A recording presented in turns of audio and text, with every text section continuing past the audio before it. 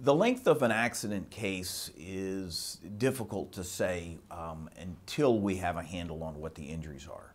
So, following a collision, we need to find out as, an, as attorneys how bad are your injuries, how long is the treatment process going to take.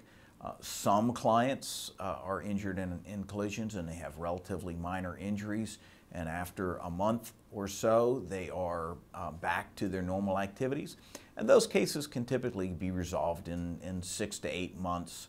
Uh, whereas the more serious collisions, sometimes we have to wait uh, a year or two, or even up to the, the statute of limitations, which is three, before filing a claim because we need to know exactly what the extent of your injuries are, and often that takes, oftentimes that takes time.